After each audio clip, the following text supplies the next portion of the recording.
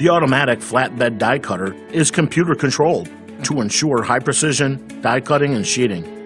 It uses three photoelectric sensors for precise tracking and positioning of printed labels. This product can conduct die cutting, waste rewinding, and sheeting rewinding in a single operation. It is especially suitable for cutting adhesive labels and hologram labels.